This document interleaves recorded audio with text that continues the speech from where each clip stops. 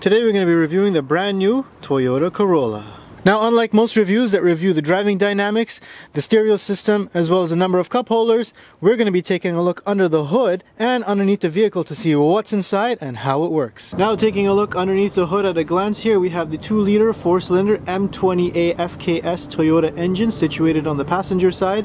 Then on the driver's side, we have the battery and airbox, and down below that, we have the CVT. Now the powertrain is situated transversely because this vehicle is front wheel drive only. Now some of the major components in the engine are your cooling and washer tank, a relay fuse box on the right side of the vehicle, in the front we have the radiator and cooling fan assemblies. And then over here on the left side we have a bunch of new technology here that we're going to discuss.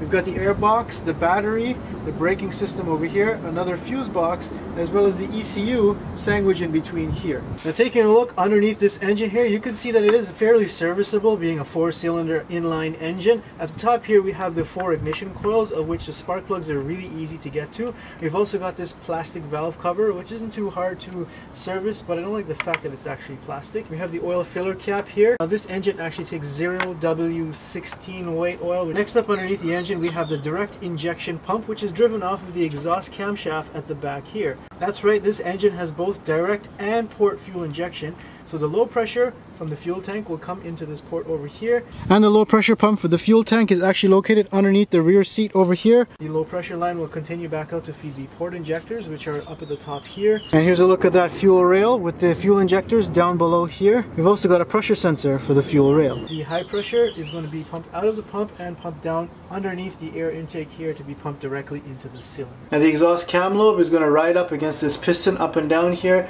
and that's going to create a pressure here that's going to be sent out to the direct injectors. That clicking sound is actually coming from the direct fuel injection pump and the injectors themselves. Next up we have the EGR system. And the EGR system is in place for pollution control where it takes those exhaust gases cools them down and then brings them back into the intake. Here we have the EGR valve and that has its own track here that leads back up into the intake. Now behind it we've also got the EGR cooler inside of here so the exhaust gases actually have to pass through it to get cooled down by liquid coolant before going back into the intake to get reburned. Now the air intake system is fairly straightforward. It actually draws warm engine air from inside of here. It gets sucked through this little tube here into the air intake box.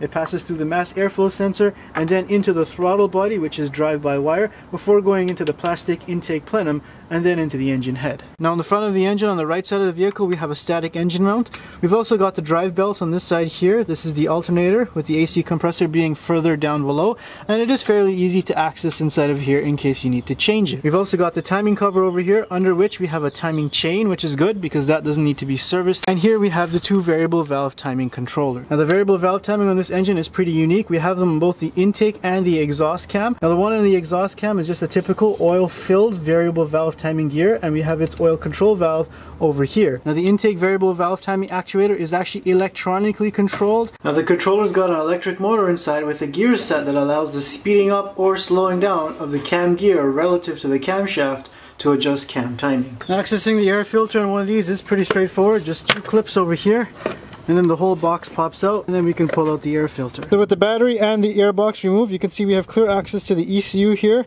which I think is kind of in a dangerous spot being not far from the front of the vehicle.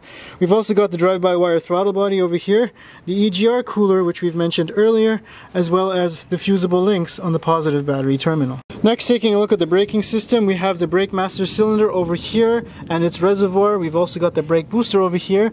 Now there is this sensor over here for the vacuum and that's because this vehicle does not use engine vacuum to drive the brake booster.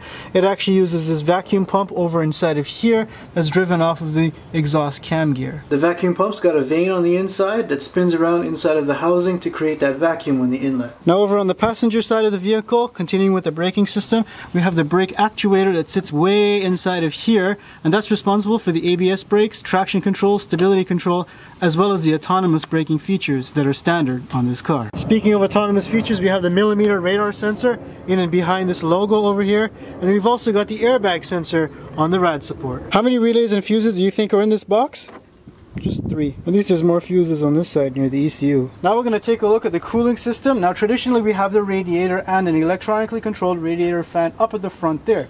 What's interesting though is the radiator cap is actually on the overflow reservoir and it's just made of simple plastic and that's what actually holds pressure in the cooling system. Now what's cool about this cooling system is it actually is powered by an electric water pump instead of a traditional belt style drive and is situated just below the alternator down inside of here.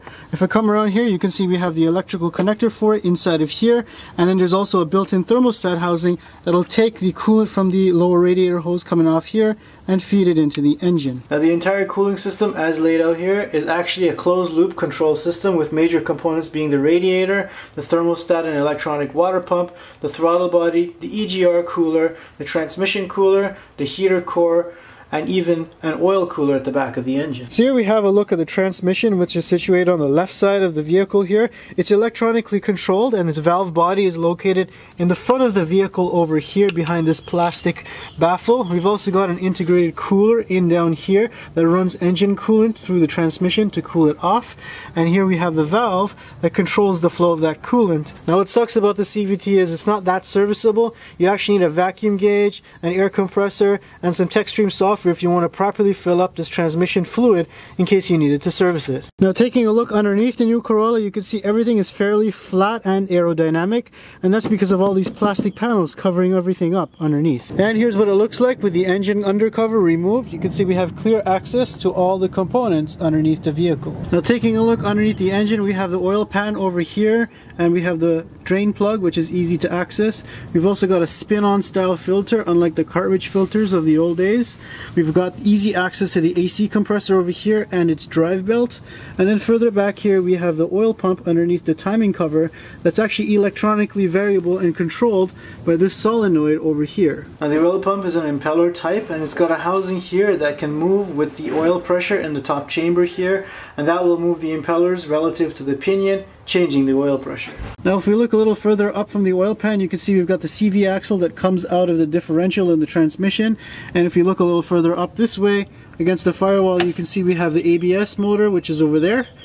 And we've also got this exhaust manifold which is this big foily thing that comes off of the engine here and hidden underneath that is a catalytic converter before it goes out to the back. Now this vehicle has three engine mounts, one on either side and this one underneath. It's made of an alloy material that's meant to actually break in a collision to drop the engine and transmission assembly down underneath the vehicle instead of smashing it into the firewall. Here we've got a good view of the transmission. This is the cooler over here that has this line that leads out to this electronically controlled valve over here. We've got the valve body for the transmission here and the drain plug located back here. Now up inside of the rear of the transmission we have the transmission control unit that controls all of the electronics. Now at the front of the engine we have the oil level sensor in the pan over here and clear easy access to the starter motor. Now as for the cooling system we have the fan controller up here and the fan itself. We've also got the upper radiator hose here it's not actually situated near the top, it's somewhere near the middle of the radiator. Then we have the lower radiator hose on this side here that leads into the thermostat housing and the electronic water pump before going into the engine. Now we're going to have a look at what's behind the wheel here, starting with of course the front where we've got a McPherson style front suspension over here and we've got the stabilizer link that's attached to it that comes down to the sway bar out in the front here. And in front of that we have a single piston caliper for the front brakes. Now we have a strong steel spring seat at the top here followed by a steel knuckle that has no camber adjustments by these two bolts here. And then we have the CV axle and the inner and outer tie rods where it connects to the knuckle. Now the bottom here we have a stem steel lower control arm with nothing blocking these bushings like engine mounts like in past Toyotas so they're pretty easy to service and if I follow this lower control arm we have this bolt-on style ball joint that's fairly easy to service you don't really need a press or anything. Now if we follow the inner tie rods back we get the steering rack which is actually electronically controlled by a motor underneath the dashboard and if you look at the gap underneath the steering column and the knee airbag you'll see the electric motor inside of there attached to the steering column. Overall the front suspension is pretty basic this is an economy car which means it won't offer you the best in handling, but it will offer you the best in maintenance and repairs come 200,000 kilometers. Now the rear of the vehicle is where the TNGA platform really shines through because it's now got a brand new rear independent suspension compared to a twist beam suspension in previous models and this is going to offer a little bit better handling and cornering. Now we start here with the spring which is attached to the rear lower control arm. There is a toe adjustment over there. We've also got the upper control arm which is this wavy one over here. Now moving over to this side over here you can see we have the front lower control arm here. We have this shock absorber and then over here we have this control blade which acts like a trailing arm. Now attached to that control blade at the back here is the stabilizer link and that goes to the sway bar which goes over here to this bushing to the other side. Now what's unique over here is this little nut here which faces the wheel could get dirt and grime in these threads and in this internal hex so they've actually included this neat little cover here so that come time to replace the sway bar link that hex doesn't rust out and strip out. That's a pretty cool idea. Now the rear brakes are fairly straightforward just a single piston caliper that squeezes this disc rotor over here. Parking brake setup is the much hated electronic parking brake setup with this little motor actuator inside of here that squishes this disc together when you put the vehicle in park. So here we have a look at the rear suspension from underneath the vehicle. You can see that it actually uses a steel knuckle with bolted on bearings which is good because it's easy to change out without using a press. Got a built-in ABS sensor over there. Over here we have the sway bar link and the sway bar itself that runs over to the bushing and that could definitely use some easy upgrading. And then finally we have this cam bolt here that adjusts the toe. Check out this huge pocket over here where this trailing arm actually bolts up to. Now instead of welding the subframe shut they've actually just added this plastic cap to prevent dirt and debris from going inside. Now the fuel system is comprised of this plastic gas tank and we've got this filler neck that's all underneath the rear seats. The evap system is actually up over here where we have the vacuum pump that pumps vacuum to check for detection leaks inside of the evap system and then the charcoal canister over here. On the top of the engine here we have this line that comes from the gas tank to purge exhaust vapors back into the intake through this valve over here. Now the exhaust system is fairly straightforward. After the header and the first catalytic converter we have this O2 sensor. The exhaust then flows through this catalytic converter. And then from the secondary cat it flows through this mid silencer and then out through the tailpipe to the muffler. And then the muffler has a single center inlet and a single outlet on the right side. That's below the bumper so you can't see it behind the vehicle. Now that's pretty much all you need to know about the mechanicals of the 2019 Toyota Corolla. Make sure you subscribe because next time we're going to be reviewing a different type of Toyota.